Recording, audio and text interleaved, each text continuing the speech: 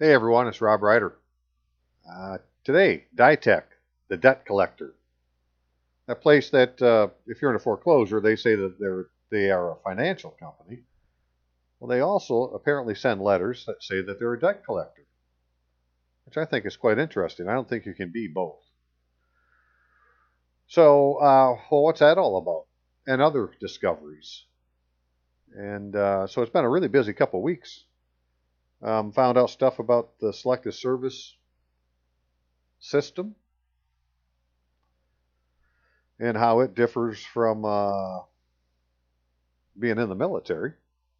Right? They're two completely different systems. It doesn't look like anybody's being properly registered and classified. They may be registered, but they ain't been classified. Let me show you where that comes from. And another thing was uh, because these are going to have to be for a different video. I'm just going to get them out of the way. Another thing is, recently, I had gone down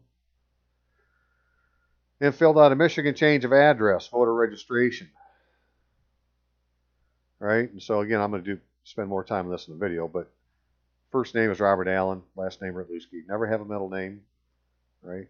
But if you look at the form, it says street number. So I said, okay, I'm going to put that in, street number. But what I did for the residence address is I didn't use the address where the house is that I'm living in. The residence address is actually your place of residence. Right? So if we were to look at, uh, this is out of the United Nations. The place of residence refers to a civil subdivision of a county, parentheses, district, county, municipality, province, department, state, in which the individual resides. So it's your place of residence, not your, you know, necessarily your house number. Well, my place of residence is Oakfield Township. And so I went to Oakfield Township's website and I'm looking at it, I said, hey, Oakfield Township, here's their address. Right? 10300, 14 Mile Road, Rockford, Michigan, Rockford, MI. 49341. Doesn't have a plus 4. So I said, okay, well, I'm going to use that information and fill this form out. And uh, sign it. And so that was the residence address. And the, but then for my mailing address, I said, well, I want the mail to come to me. But it says street and number also. So, okay, I'll make that 14 Mile Road Northeast 10955, which is, you know, basically my address. Well, this address here is the Township Hall, this 10300 my mailing address has a plus four, so I put it on there. Um, and the residence address, see, it adds one thing. It says county. So I didn't just put Kent, I put Kent County. So it couldn't be confused as County of Kent. I want everybody to know I'm in Kent County, not County of Kent. Kent County is the administrative arm of whatever the sovereign state of Michigan is supposed to be. And I don't know what the County of Kent is. I can't find anything that shows that it ever was created. Ah. Uh, are you a citizen of the United States of America? No. You be 18? Yes. And then I said, well, if you check no, you can't do C or D. Okay, well, there's C. Don't want to do it anyways. There's D. Don't want to do that anyways. Now it says sign at both X's for D. So, because as you see, well, here's an X, but then here's another X. But it also says voter registrations with an S. So it's like, okay, well, there's two registrations happening here. And uh, no matter which one you did of these registrations, you would have to sign here when you're done at the bottom. But this is not a voter registration. This is like an elector registration, in my opinion. I certify that I am a citizen of the United States. Yes, I am. I want to be. For those of you that are afraid of being a citizen of the United States, I'm afraid I don't agree with you. So I'm trying to be one. So I'm happy to be a citizen of the United States, but I don't want to be a citizen of the United States of America. That's King George's venue. Treaty of Peace, 1783. Just go read the first chapter. Paragraph, excuse me.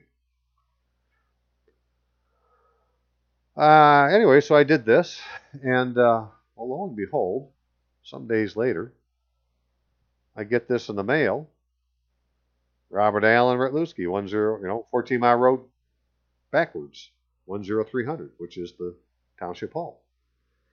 And, you know, the postman put this on there and put it in my mailbox.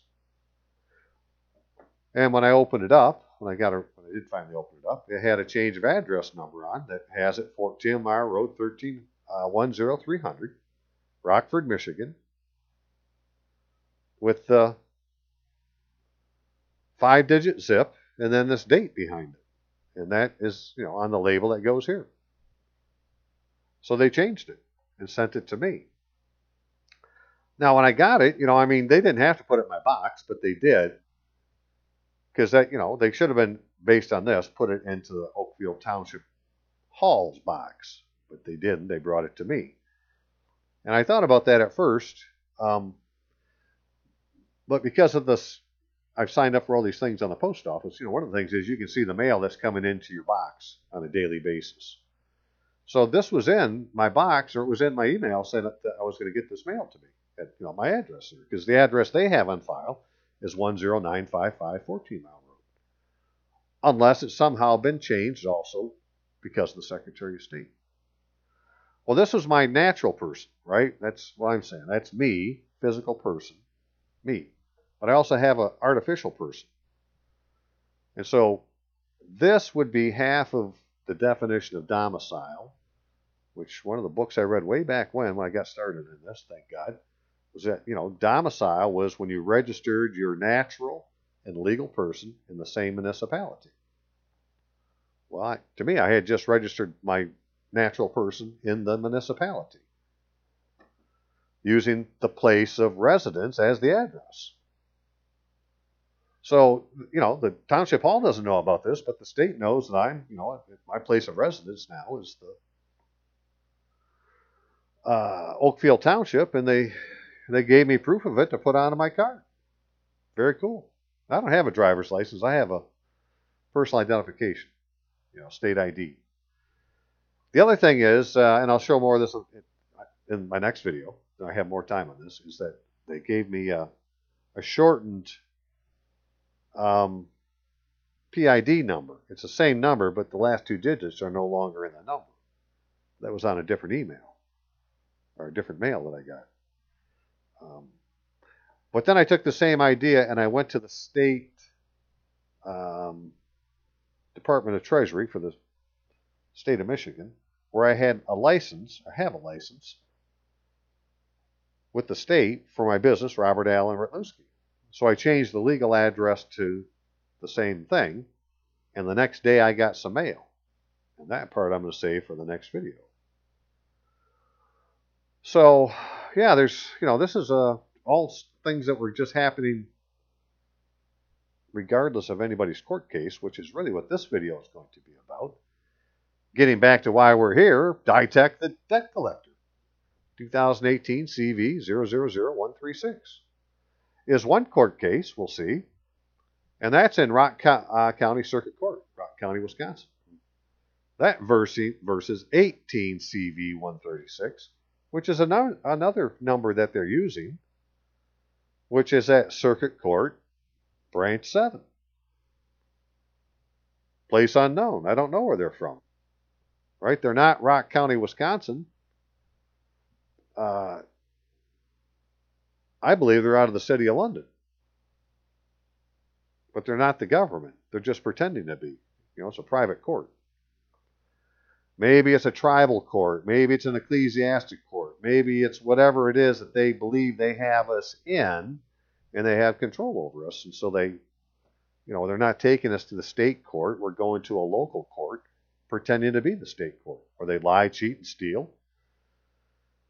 And uh, because we're not properly um, rebutting those presumptions, things aren't going our way. So today's Tuesday, the 14th of August, 2018. And according to the post office, that's the proper way to do your address on your cancel stamp. We'll be talking more about that also tomorrow. Uh, Rob Ryder's email address. Hey, that's me, Rob Ryder. Right? Uh, that's my avatar. Court of Record at AOL.com. Phone number 616 712 6179. And hey, I got a new way for you to donate, if you would please. It's PayPal Money Request. basically, I need from you an amount and your email address. So if you sent me an email with the amount you were willing to donate, I could send you through PayPal using your email address a request for money, which you could use a credit card for. If that would make it easier. PayPal account, though, is Rob Ryder at AOL.com. They use your, you know, an email address for your account.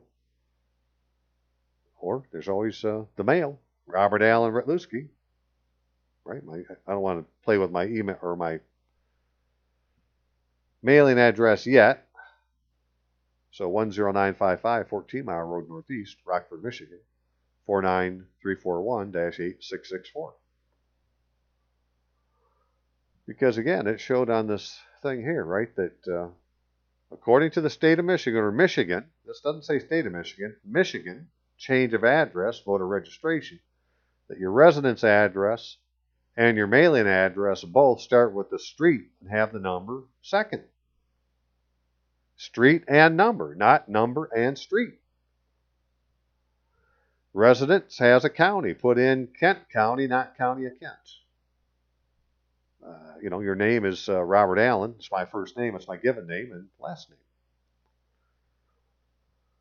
Very cool stuff that uh, I hope, you know, can give us all some remedy sometime, and that's what I'm looking for. Now, another thing that I guess I'm gonna play these right now. That came up was um, Bob in Arizona had done a lot of research on Selective Service Act, and uh, so he, in fact, he filed up and went to the Selective Service Act site or Selective Service System site and got a copy of the Selective Service registration and yada yada yada. But we were looking at this act that started the Selective Service Act, which is, you know, for the draft. So the first thing is, it isn't the volunteer army. No, this is for the draft. The volunteer army has nothing to do with this. They're two totally different systems. The selective service system, can't remember what they call it, if it's an agency or whatever, right? It's an independent agency. It has nothing to do with any other agency of the government. It Has its own records. And it's the one that says if you're properly registered and classified or not. So in this act, it's very plainly written, and it doesn't take very many parts to find, and I'll spend more time on this in the video tomorrow. But it says in section 454, provided that each registrant shall, shall, shall be immediately liable. When? Immediately. What? Liable for classification and examination. And what? Shall, as soon as practicable, following his registration, be so classified and examined both physically and mentally, in order to determine his availability for induction for training and service in the armed forces. Now, if they're following this act, then you need to be classified and examined if you're registering for the draft, which everybody is registered for the draft, I believe. I know at least all able bodied men are. And a lot of times it's by the Secretary of State from your state. You don't really have anything to do with it. They just, you know, check a box, will do it for you. But it's the rest of it. Classification. Well, let's go on. The next section in 454 said manner of selection of men for training and service. Quotas. Now, men, males and females, are men. That in the classification of registrants within the jurisdiction of any local board, the registrants of any particular registration may be classified in the manner prescribed by and in accordance with the rules and regulations prescribed by the President. Before, together with, or after registrants, registrants of other, prior registration or registrations. In other words, when we all catch on, we can all get classified at the same time, even if I registered 20 years ago and you registered tomorrow, we neither of us have been classified. We all need to be classified. We can all have it done at the same time. There's no particular order. You don't need to wait for me to be classified if you can go get it done. That's the point. We need to get it done. So who does it? Well, they have these things called local boards, as we find out. They're supposed to do it. And Bob was doing some research just today and said he was told they're at the mostly county level. But they've yet to give us any names and they're not doing any classifications. When you start talking to people about this, they say, yeah, that's for the draft. It is. Yes, it's for the draft, and it's a duty for every able bodied man in the United States to register for the draft. And since you're registering for the draft, well, you need to be classified. If you volunteer for the Army, that's totally separate from this. This is still a duty. So even people that have served in the military aren't classified for the draft, even though they may have registered. Go figure. Deferments and exceptions from training and service. There shall be posted where? Shall or what shall? Shall, shall, shall be posted in a conspicuous place, place of the office of each local board a list setting forth the names and what classifications of those persons who have been classified by such board. Well, where are they doing this at? Because I never seen them. I served eight years in the Army. I, I don't know anybody who's ever been classified. General. That's why I told General. So I sent this to a general yesterday. And I'll leave his name out, and I'm going to give the military a few days to work on it because, well, I want to give them the time. But I'm going to use names next time I put it out. General, I know of no one that has been classified and examined by local boards. Do you? Right? This is making everybody in the military or everybody in the United States have a civil defect because you didn't file the freaking law and get registered and classified in the United States. And what this would do then is this is how you would be found residing in a federal judicial district. And because you were, well, now the laws of the United States would apply. Because what they're doing now is they're not allowing us to appear in the United States. They're taking us to these improper venues,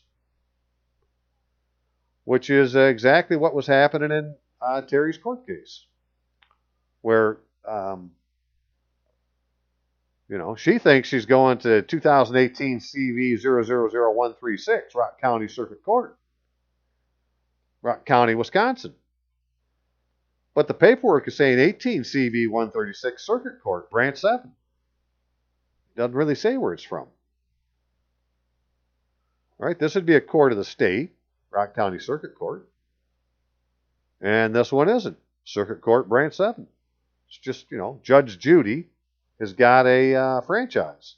These are all franchise judges that are they're judging in maybe courts of justice, but they're not judging in courts of law and equity. They may be judging in courts of equity, but they're not judging in courts of law and equity because that's the venue of the United States under Article 3. You know, so for the United States laws to exist, you need to be in a court that's a court of law and equity. And uh, it needs to be a court of the United States. And for that to exist and have any jurisdiction, you need to be found in the United States. And there are you know, they are purposely not letting us be found in the United States. Okay, so we're going to look at uh, Terry's um, transcript here. But again, if you can, hey, take a minute, send me an email. Let me know if you can uh, donate because I can't make my rent. It's the middle of the month. I really want to work on this. I don't want to have to go trying to make a dollar, right? So I'm going to ask you to give me one instead. Please do. Okay. Give me just a second to get my things in a row. Alrighty now then. So let's just tick a few things off the box to start with, right? This is the Wisconsin Circuit Court Access website, which uh, anybody can find. And if you were to put in this Rock County case number, you could find this case, right? But there it is, Rock County case number 2018 CV 000136, Ditech Financial LLC versus Terry L. Wilson et al. And uh, I've done a couple of videos on this here recently. Um, and so one was they were going to have a hearing last time we were doing this. Okay.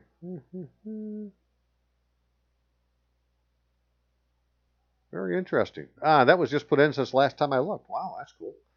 So this is what happened on 8 3, 2018, which was a Friday not too long ago, where they have both a court official or judicial official, I think, and a recorder listed. And they called defendant Terry L. Wilson in court, attorney William Nicholas Foshag in court for plaintiff Ditech Financial LLC. Attorney Foshag addresses the court regarding the filings, the frivolous filings Terry Wilson's addresses the court regarding claims. Court grants judgment of foreclosure with six months redemption and deficiency judgment in the amount of something. Right to appeal stated on the record. Court expunges filings on 528, 629. And those were the UCC filings we'd put in. Well, that's what they said then. And then on 8 7, they said court orders, Wisconsin Department uh, a financial institution shall fully expunge Terry Wilson's financial statement filed those dates from its official records. Well, Terry Wilson didn't file anything on those days. And so even today, if we went and looked at uh, the UCC filing, um, here's one of them that was put in on 528 that made the state of Wisconsin, Gray and Associates LLP, the Judiciary Court, State of Wisconsin, made them all debtors. It says it's still active. It says uh, filing history, none. Original filing only. Nothing has happened with that one. But since that court case had things added, let me update this real quick. No, still the same. And, uh, well, let's look at one more. I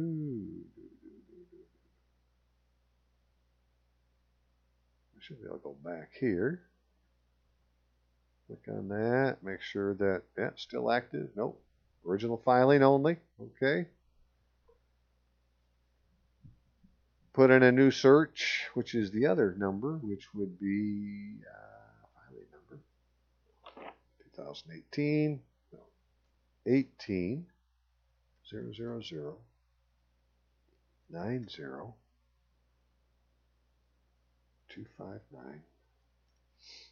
5925.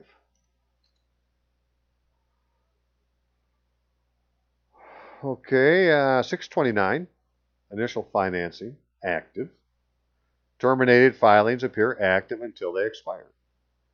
See the filing history below for any amendments to this filing. Okay, so if something was added to terminate it, it would still show active, but there would be something added to the filing history. Nothing's been added.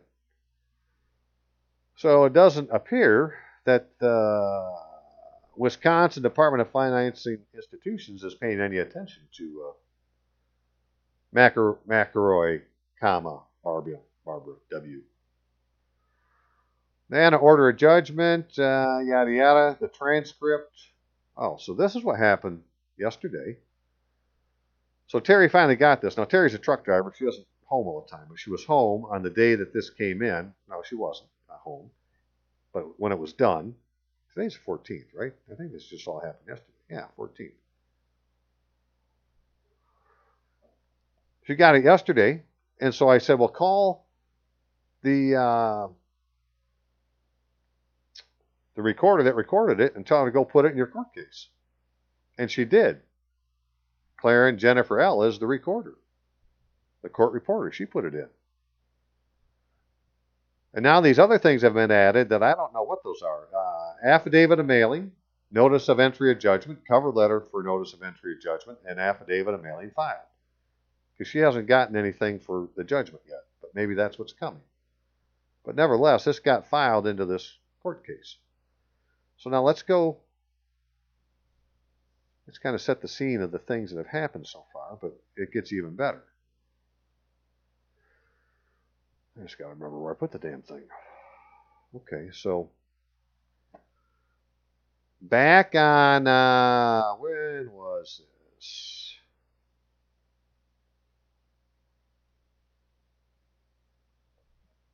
God, what date was it? 531 2018. Clerk of Circuit Court, Rock County, Wisconsin.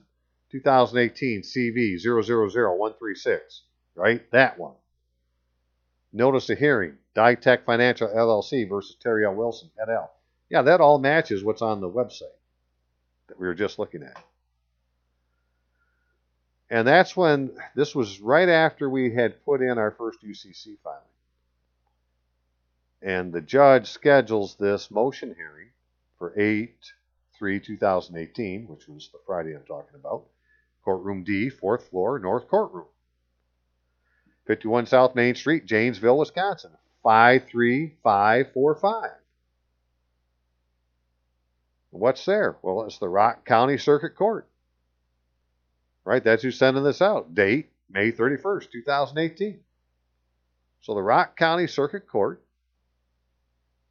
is saying that there's a notice of hearing for a hearing to be in courtroom D, fourth floor, North Courtroom.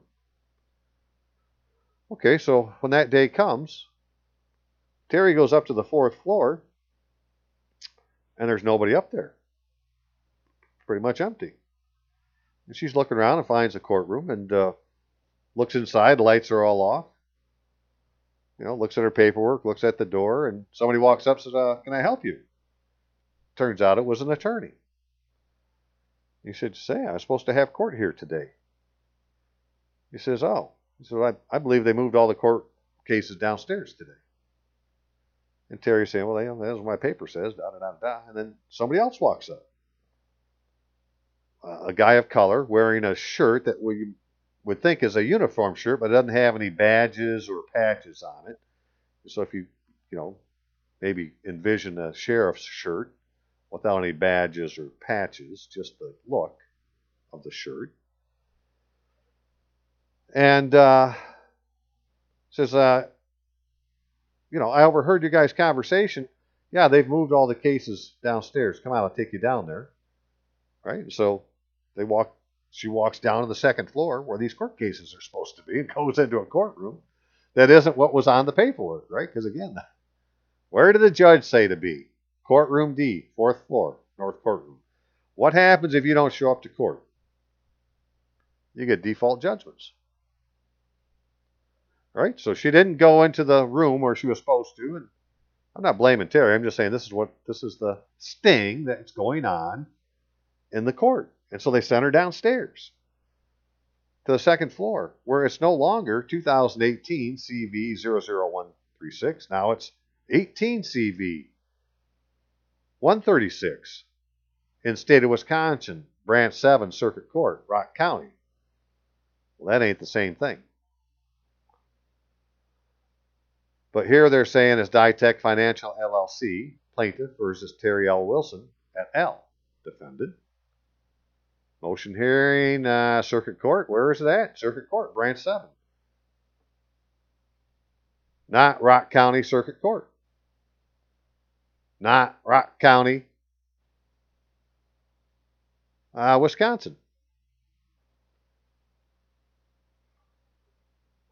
And who's here? Well, you got appearances by William Foshag, attorney at law. That's not his full legal name.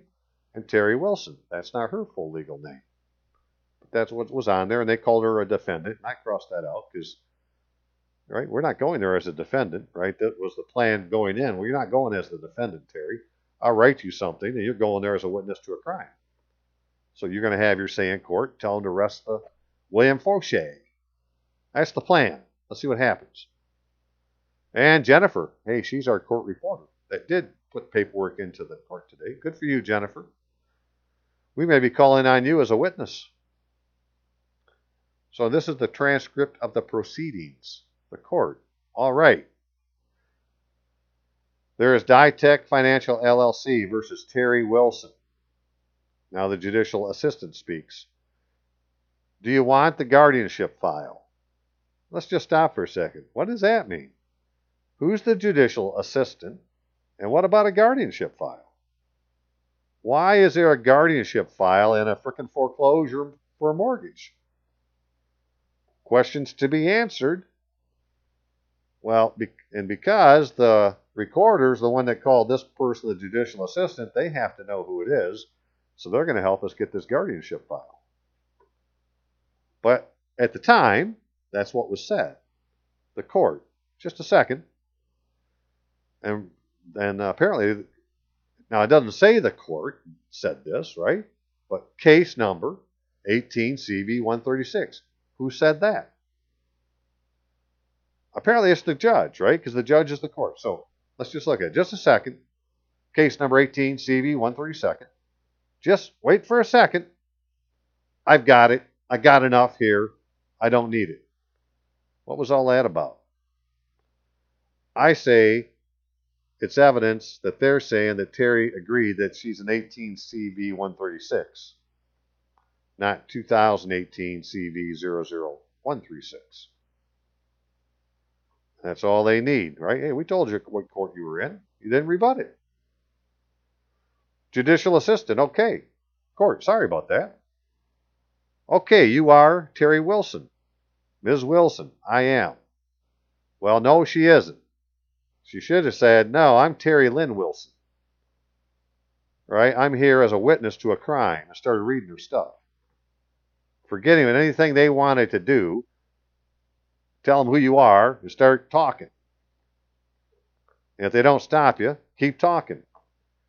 If they say you're going to go, they're going to find you in contempt, keep talking. Right? Get your say done. That's how I do it. But okay. You are Terry Wilson. Yes, I am. Well, Terry, you're not. That's okay. The court, Terry Wilson is appearing in person. Right? If we had said Terry Lynn Wilson, then the court would have to say Terry Lynn Wilson is appearing in person. Which is her full legal name. First name, middle name, last name, no initials, no nicknames, right? Six CFR Code of Federal Regulations 6 CFR Part 37, the Real ID Act, or whatever it is, which has to do with identification, and that you need to use your full legal name and defines your full legal name and says it's your first name, your middle name, your last name, no initials, no nicknames, which is the most important part. Because in court, all these people are using middle initial names for the most part. Today they didn't, but if we went back and looked at the paperwork, there'd be middle initial names all over this stuff. But now we're going to call him Mr. Foshag. Right? Um, and the other appearance is Mr. Foshag. Good morning, Your Honor. William Foshag gets F O S H A G from Gray and Associates appears for Ditech, not Ditech Financial LLC, right? Not just you know common, blah, blah, blah. All right, Mr. Foshag, we're here on your motion for summary judgment. Is that correct?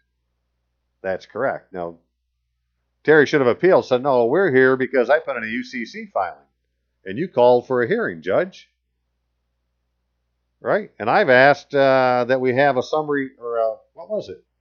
A trial on merits. That's why we're here. Isn't it? But, you know, this is how you find out. This that we're we're reading.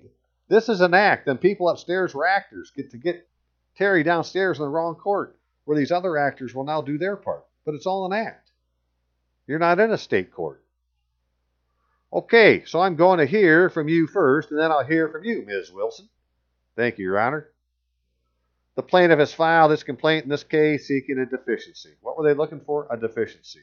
We need to see what that means because they're not looking for foreclosure, they're looking for a deficiency. The property is owner occupied. Thank you very much.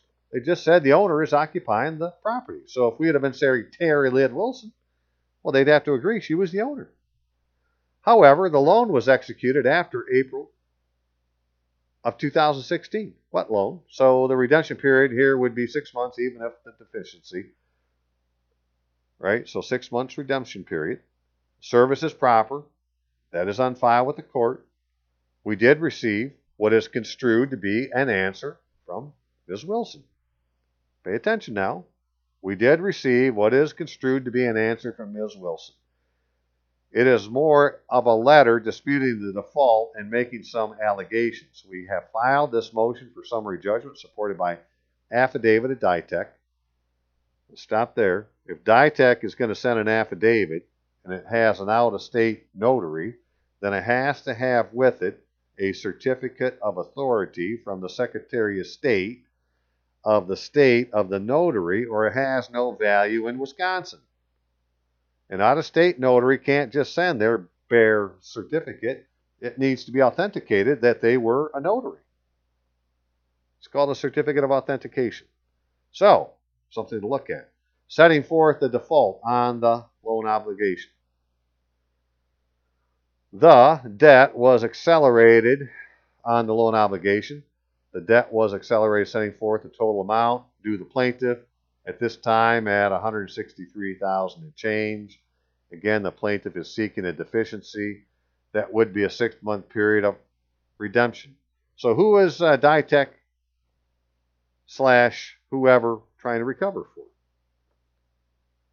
Right. Well, I showed in my last video that the attorney firm that was doing all the foreclosures um, process in a non judicial state was doing it for the name uh, as attorney in fact for the person that uh, they were try- trying to kick out of the house.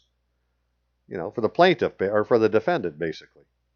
You'd have to watch the video, but let's say it was me and my middle initial. Well, that's who they would say that they were the attorney in fact for. Attorney in fact for Robert A. Rytlewski. Robert A. Rytlewski is being sued, and Robert A. Rytlewski is the attorney is being represented by the attorney in fact that's doing the foreclosure. So they're foreclosing for me. They're, you know, I, I don't want them to foreclose, right? But that's what that would mean. That uh, there's something going on about this thing with the deficiency. It's not has nothing to do with uh, foreclosure on the mortgage. I'm going to say it has to do with the fact that attorney fees haven't been paid or something like that for the closing. Or the $10 hasn't been transferred to transfer the title. Right? That's the deficiency. They're going to claim this amount of money because, you know, that's what's on the paper and we don't know any better. But the deficiency is $10. I don't really know, just my guess. So, throughout the course of this case, we received several bizarre filings from Miss Olson, one of which was a UCC lien, which was filed against my firm and apparently also the state of Wisconsin and its courts. We also asked, Your Honor, and had presented an order for the court's review and approval to have that to direct the Department of Financial Institutions to expunge the UCC filings from the record. It's frivolous and filed in bad faith. The other fine that we received have run the gamut of some things that were typically to do with, we typically do see in a foreclosure. It's a difficult situation. There's no d- doubt about that. We see often that unfortunately folks that get in a situation like this might resort to measures that they feel will erase the debt, eliminate the debt, go after the attorneys, go after the courts that are pursuing the foreclosure of the on the default on the loan obligation. And those are obviously all inappropriate and not bearing on the plaintiff's motion. Right? So all the things that she was complaining about didn't have a thing to do with what the, the plaintiff's motion was, I guess, saying. Um,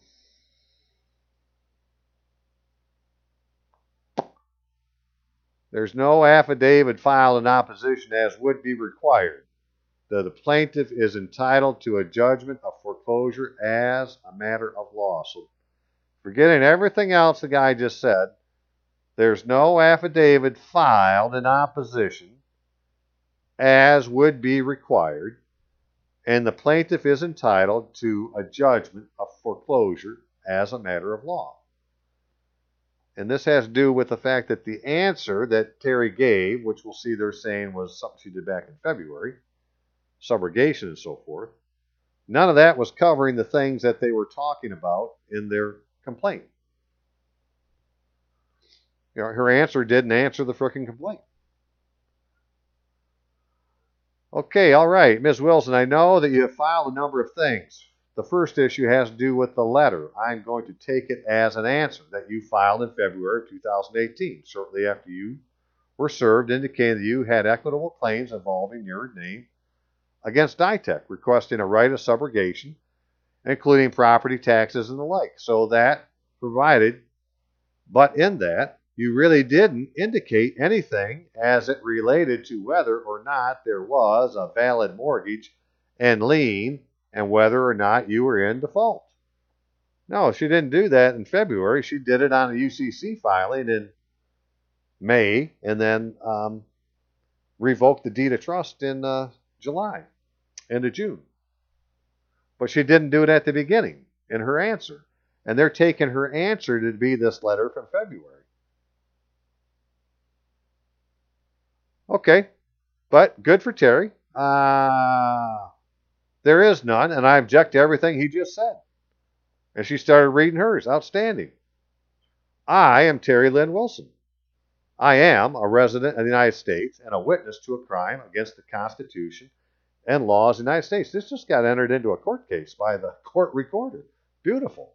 The plaintiff, its attorney, Gray and Associates, LLP, and other conspirators have offended the United States by acts of treason and fraud, unlawfully converting rights, titles, and interest in my private property to use of others.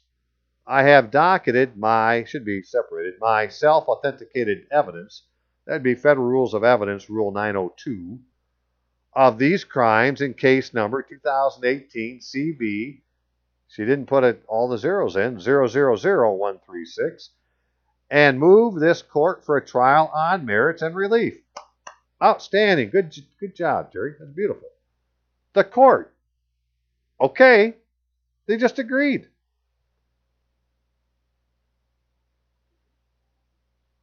So at least in you know 2018 CV 00136, that the courts agreed. But that isn't where we are right now, right? We're simulating being there and we're in this other court. But the courts agreed to that. Well, now we just filed this thing today into 2018 CV 000136. So I'm really interested to see what happens next. Well, I have to keep going. Ms. Wilson, I have the paperwork right here where Rob Ryder, Rob Ryder, Rob Ryder, they didn't even use my full legal name. Although the attorney did put in a motion that had Robert Allen Rytlewski in it, I made it into a court case. Contacted the bar on June 14th and asked for the registration of Gray and Associates, and this is the paperwork that I have. So I filed the motion of sanctions against him, remedial sanctions. If you need a, not against me, against the attorney, if you need a copy of that, I have it right here. There are no signatures on their paperwork. Hey, let's take a look at that. Let me see if I can find it real quick. What would that have been on? That would be in State Bar, Wisconsin, right? So this is what I had done. If you didn't see this in my last video.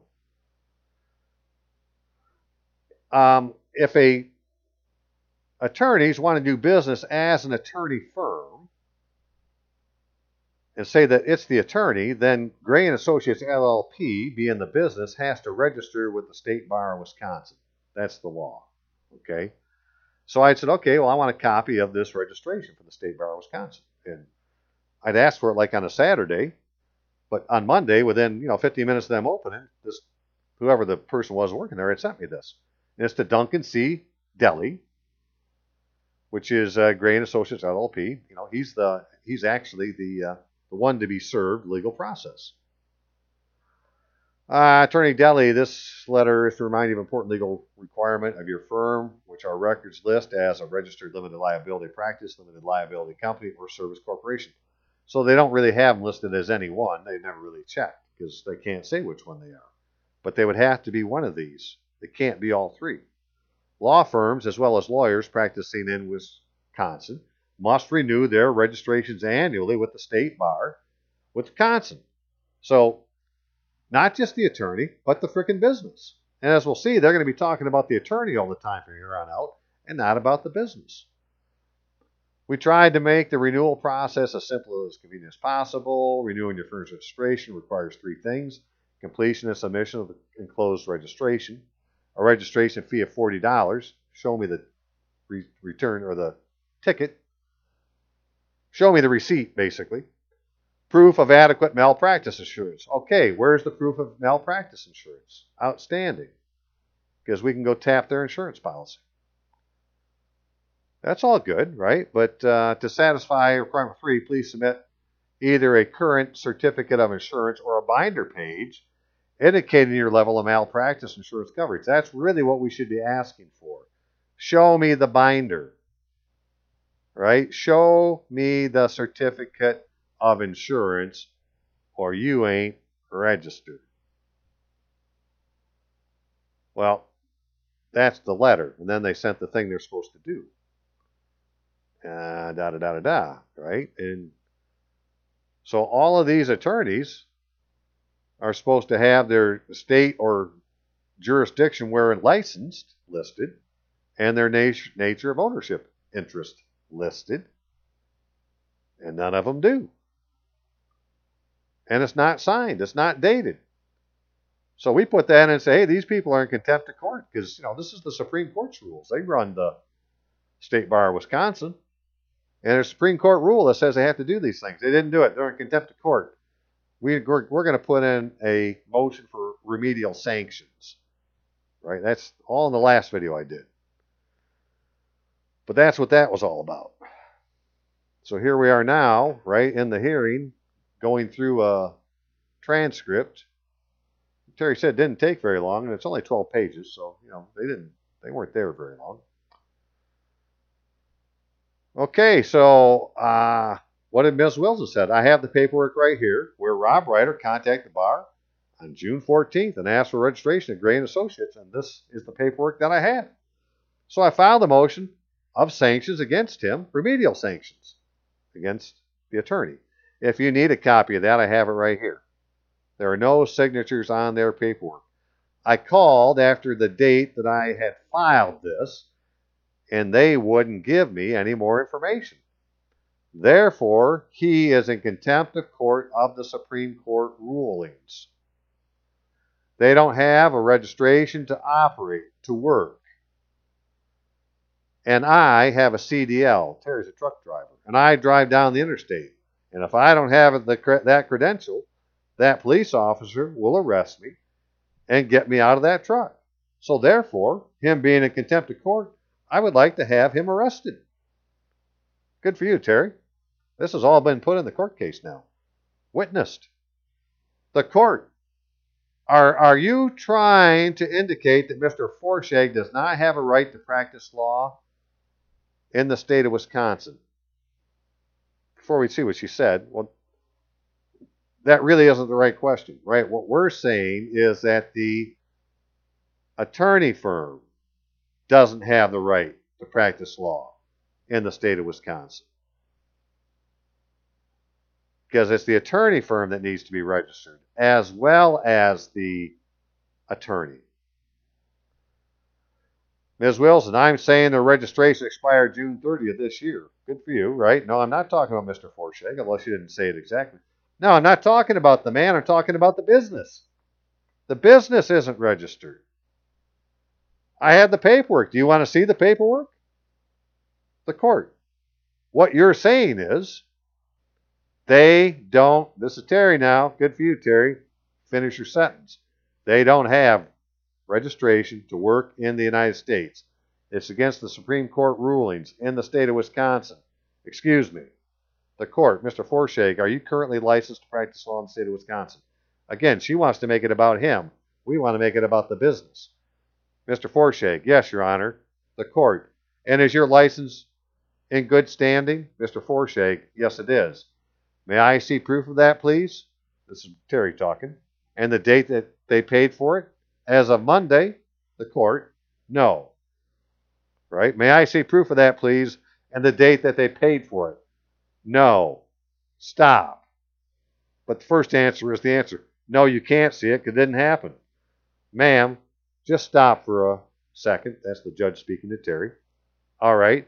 I have here from the State Bar of Wisconsin website, which is the organization that is responsible for making sure the lawyers are duly licensed to practice in the state of Wisconsin, is where it's reported. But again, we're interested in the business. Not that we're not interested in the attorneys, but we are interested in the business in this particular case. But they want to make it about the lawyer. that Mr. Foshag is in good standing, meaning he has met all the requirements as it relates to payment of fees, compliance with continuing legal education. Uh, he is also an active member of the State Bar of Wisconsin. So Mr. Foshag is appropriately here in front of this court. What court, though? Because we're not in the circuit court, we're in, uh, well, a district court of some kind but not in the circuit court of the state of Wisconsin. You know, the thing created by the Constitution. In terms of this matter, it is. That was the judge still talking. Ms. Wilson, I object. Well, ma'am, says the court. Ms. Wilson, as far as the date, ma'am, Ms. Wilson, of the 16th, Monday the 16th, he wasn't. So if he went in after that and paid his way, I get it. The court, well, Ms. Wilson, but prior to that it was expired. The court, I will also explain to you that I see lists continuously of those lawyers that are no longer active and allowed to practice law. Again, we're talking about the lawyers, not the business. Good for you, Terry. Hey, that's none of my business. This is my business. Good for you.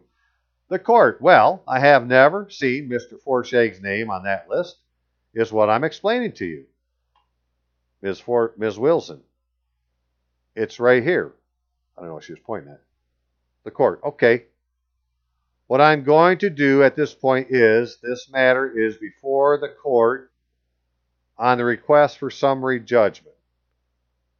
So, what court did whoever asked for summary judgment under? 2018 CV 000136 or 18 CV 136. I believe it's going to be 18 CV 136.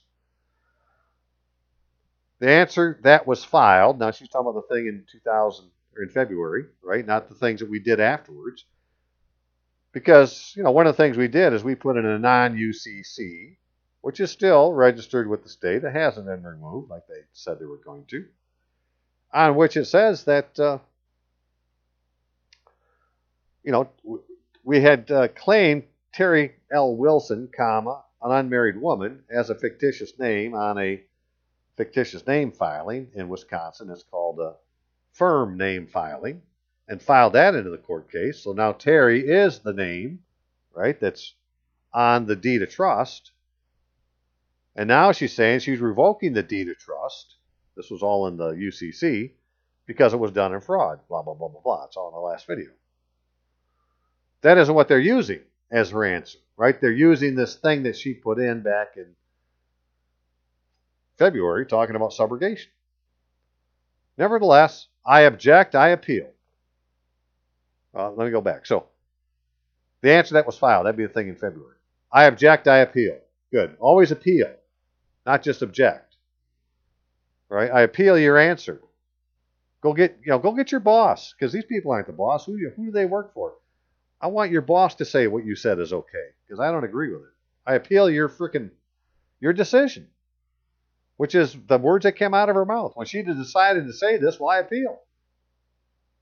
The court in this matter did not provide any sort of factual basis upon which, or any facts or, or issues of fact at issue at this point as it relates to this matter. So the thing in February didn't answer the things that needed to be answered, which the judge said earlier was the fact that it was a fraudulent. Uh, what did the? We have to go back up. I hope I can find it again. Uh, you really didn't indicate anything that it related to whether or not there was a valid mortgage, which is what we did on the non UCC filing and lien and whether or not you were in default. The other thing is, if there's a lien on your mortgage, they have to have filed a UCC filing. That's how you perfect a lien is with a UCC filing. Right? If you're making a list of things to know, well, that'd be another one to keep in mind because someday we'll figure out how to put all these together and make them stop. But until then, we're making them talk, which this is shit they wouldn't have had to said before. Uh, so, in this matter did not provide any sort of factual basis upon which or any facts or issue or fact at issue. See, these are all like terms of law, right? Fact at issue, you know, has a definition. Facts or issues are two different things that have definitions. But then there's one that's fact at issue that has a definition. At this point, as at what point? Well, in February, as it relates to this matter. No, but let's talk about today. Ms. Wilson, I object, I appeal. The court. The complaint states a basis upon which relief can be granted.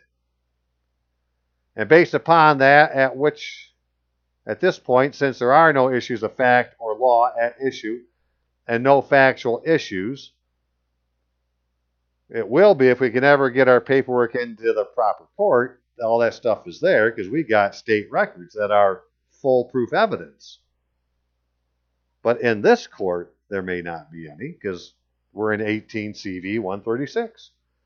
It is appropriate to enter the judgment of foreclosure of the, on the summary judgment request. This will be entered in the amount of 163,000. Ms. Wilson, I object. I appeal. The court finishes the number. I will allow deficiency to be sought and set a six-month redemption period as the loan in this matter was entered after it was entered after June of 2016. That's what you said, Mr. Foshag. Uh, April, April of 2016. I have to go back and see when it when Terry actually did the mortgage. I don't know what month she did it in. But they're saying, you know, after April. So maybe she did it in February. So then we're not talking the same mortgage. Ma'am, you have a right to an appeal. Ms. Wilson, I do. Court well. Ms. Wilson, and these UCCs have gone, and I'm going to. Ms. Wilson, unrebutted. That stands in law. The court. The other issue, ma'am, is you have the right to an appeal. When you get a copy of the judgment, when you get a copy of the judgment, when you get a copy of the judgment, where's the judgment? It will. You do have a right to an appeal, and you can do that. That is with the appellate court and the state of Wisconsin. Well, I'm going to say that's the 2018 CV 000136 case. That's the appeal case. Maybe that's what that guardianship file is about. Right? That's the bigger court, the guardian of the little court, and uh, you know, for her to have jurisdiction in the upper court, she'd have to have the file. I don't know, but remember, way back in the beginning, the very first thing they did is talked about a guardianship file. The judicial assistant had it. So you have a right, okay? Thank you. This matter is concluded. Mr. Foshag, so this matter is concluded. It's done, right? They're done right there. This matter is concluded. Anything now is just talk. Mr. Foshag is talking now. Your Honor, we had just one further issue we'd like to take up today, and that is a petition from the plaintiff related to the UCC filing and the proposed order asking the Wisconsin Department of Financial Institutions to expunge financing statement file 28th, 29th. The court? Okay. I will expunge those as well. Thank you. Thank you, Your Honor. Court, thank you. Ms. Wilson, I object. Court, and appeal, and I appeal. Court, that you may do, ma'am. Thank you court. But you got to figure out the process for appeal. Thank you, Your Honor. Court, thank you. Right? So it's a process of appeal. So we don't have, it's not a question of law, it's a question of process. We need somebody to tell us what's the procedure to appeal. It's not legal advice. Uh, the court, thank you. Mr. Foshag, have a good day. Clerk, what was the date on those? Court. Oh, just a second. Mr. Foshag, the date of those filings. Mr. Foshag, it's restated in the proposed order. Mr. the clerk. Okay. Mr. Foshag, May 28th. The court. Would you like someone to walk you out? Mr. Foshag, I'll be okay. The court. Okay. The court. Would you like somebody to walk you out? Why, didn't he look good? Mr. Foshag, I'll be okay. So somewhere in this blah, blah, blah, although it's not in here. When they were done or almost done, Terry walked up behind Mr. Foshag And he turned around and she pointed her finger at him and said, I rebuke you in the name of the Lord.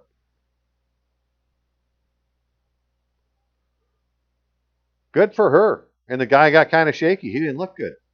I don't remember her exact thing, but I know it was rebuking, and I believe it was in the name of the Lord. She may have said it in the name of Jesus Christ of Nazareth.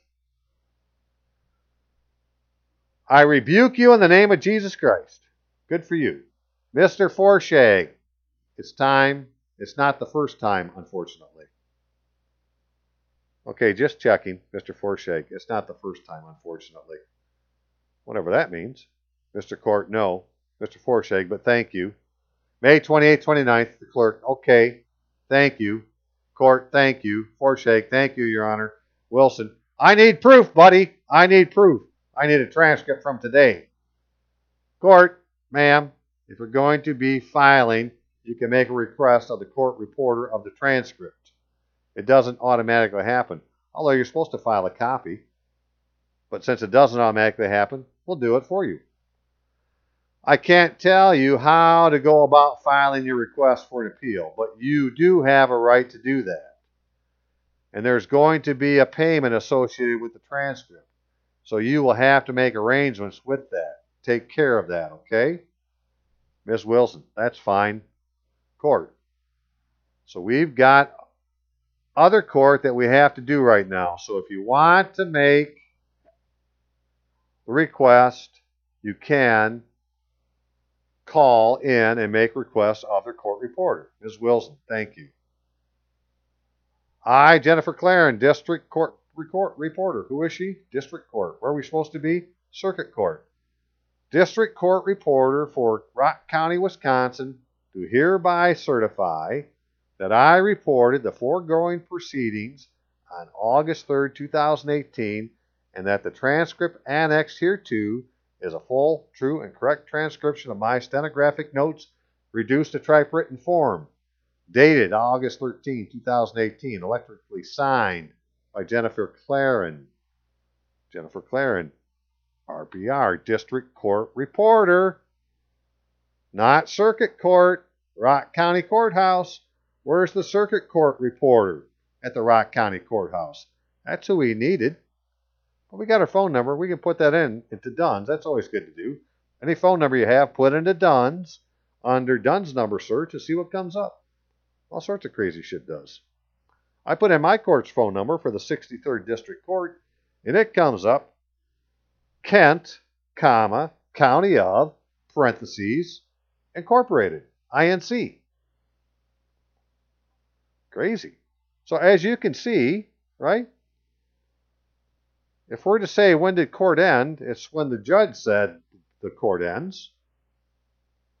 That was way up here. This matter is concluded. I highlight that. I'm even going to change the color. This matter is concluded. Case was over. And they did all this other stuff, blah, blah, blah, blah, blah, right? Talking about what they were going to do with the filings in the state. But they're still here. And again, things that had happened today that had not been there. Because I looked earlier today, the last thing put in was this transcript. From motion hearing held 8 3 18. Hey, I just read it to you. In front of Judge McCrory. There she is. 814, affidavit of mailing. Notice of entry of judgment mailed to Terry Wilson. Not Terry Lynn Wilson, not using her full legal name. Notice of entry of judgment, cover letter, and notice of entry and judgment, affidavit of mailing filed. Well, where's the cover letter for notice of entry of judgment? So we'll have to see if that comes. So that's where we are today. Um, you know, again, when Terry went to court, she's supposed to be going up to the fourth floor.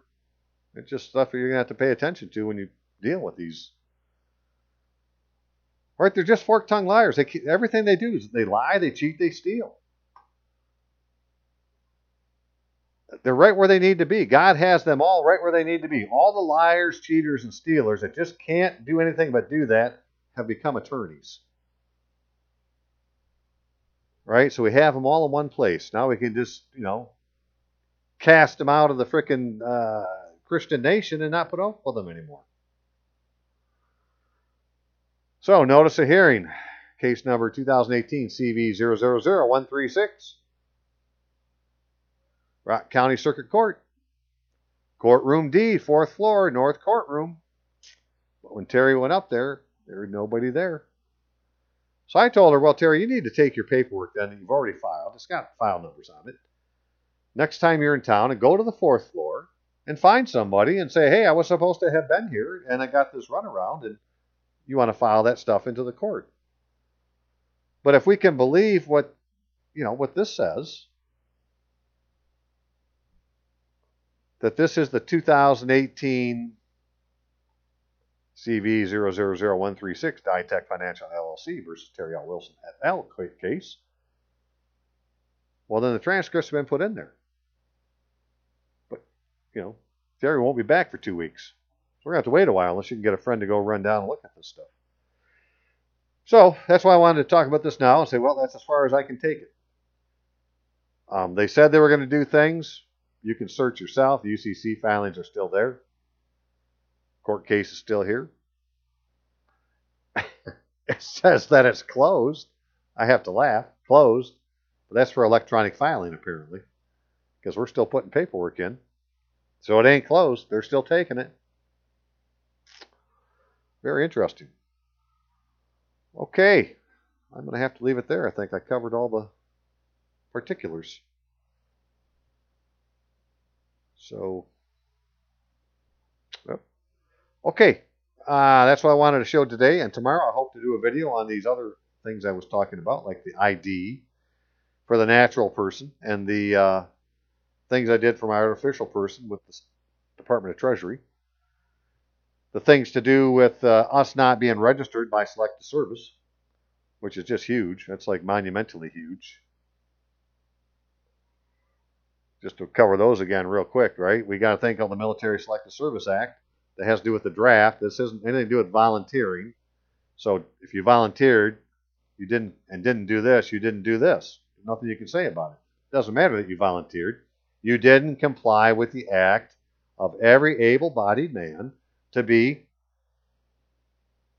um, registered, classified, and examined for the draft shall, as soon as practically possible, following his registration, be so classified and examined. That's just huge.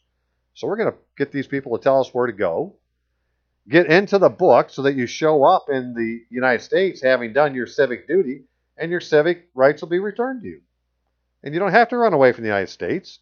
No, that's not the answer. The answer is we need to be here. They don't have us in the United States right now. They have us in the United States of America, King George's venue. We need to get in the United States. And even there, in his venue, we're there as bond servants. We don't have any rights. Right? We're not showing up in the United States anywhere. They don't, if you send a letter, they don't use a black postmark with a five digit zip code to cancel the stamp. Now we're trying to take care of that too. That's something Bobby's working on, and we'll, we'll see what we got with that here tomorrow also. But uh, I'm going to leave it there. And again, if you can, hey, that's my address. If you could send me a dollar or two or a check, or you want to put it in PayPal, there's my PayPal account. If you want to do it by PayPal and want to use your credit card, well, I can send you a payment request. I just need your email address and the amount that you would like to donate. Because it's the 14th of uh, August, and I have $100 to my name. I kid you not. So please help. Okay, we'll talk to you all later. Amen.